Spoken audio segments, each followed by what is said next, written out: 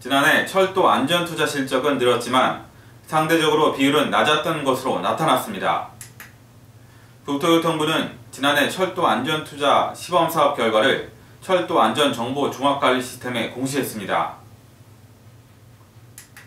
철도 안전투자 공시 시범사업은 철도 운영자 등의 안전투자 규모를 공개해 안전우선 경영을 정착시키기 위해 시행하는 것입니다.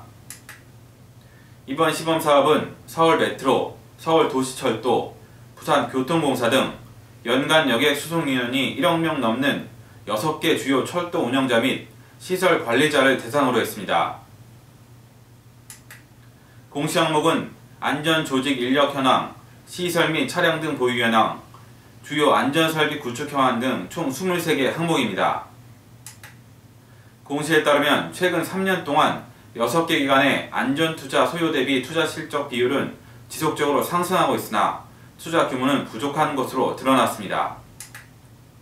국토교통부 관계자는 작년 시범사업 결과에 대한 분석 등을 토대로 올해에는 시범사업을 제도화하는 방안을 검토할 계획이라고 말했습니다.